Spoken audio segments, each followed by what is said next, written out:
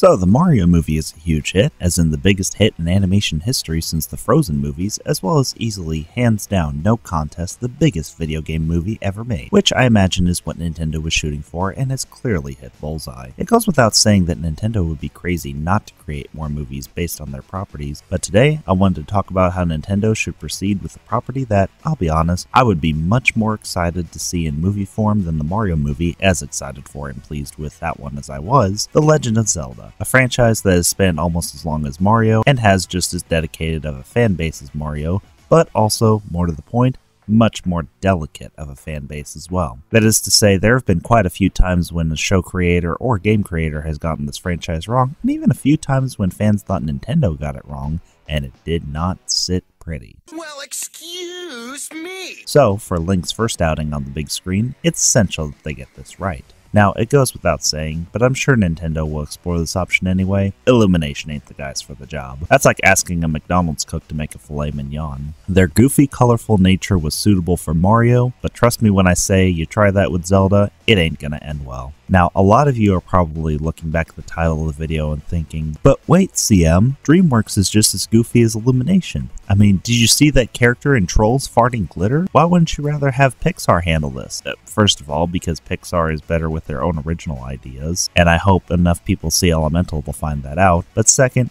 Nintendo has partnered up with Universal, and while there could be some discussions and negotiations outside of the lot, you know as well as I do it would be easier for them to discuss it in house. So their options are basically either Illumination, DreamWorks, or a live action studio. On that point, though, why am I suggesting an animated film versus a live action fantasy epic? Well, to put it simply, there's nothing besides the iconic costumes and symbols that would separate a live action Zelda from something like Lord of the Rings. It would have a similar look, similar tone, hopefully not a similar runtime, but it would be just as much of the same thing as before. An animated Zelda movie, on the other hand, has the potential to be this noble, prestigious, non Disney prince rescuing a princess from a monster film that could stand out in the market.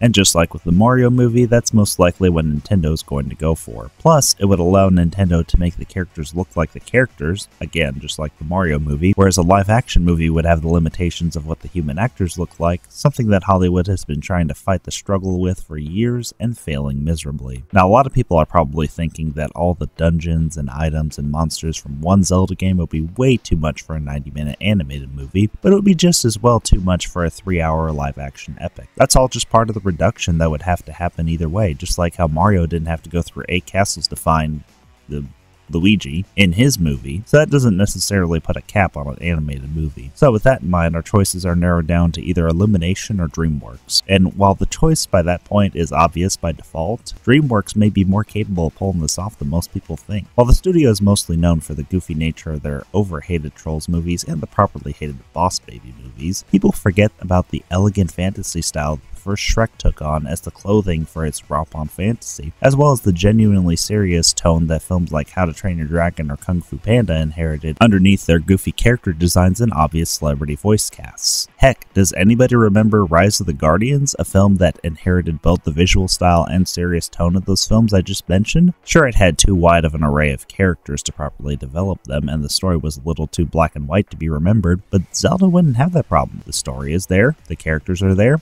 and all DreamWorks would have to do is bring that to film form. Boom. Legend of Zelda. Now, after the Mario movie being as huge of a hit as it is, I trust Nintendo to make their own decisions on how to proceed with their properties, but as somebody who would punch through about 10 walls if they don't get this right, I couldn't possibly imagine a better in house studio for Nintendo to work with than DreamWorks. They have the skills, they have the experience, they have the talent, and as long as Nintendo works closely with them as they did with Illumination on the Mario movie, they shouldn't go off the rails like they've done with some of their other franchises. But either way, even for handling the Hero of Time's big screen debut, I feel like the studio has more layers than most people give them credit for.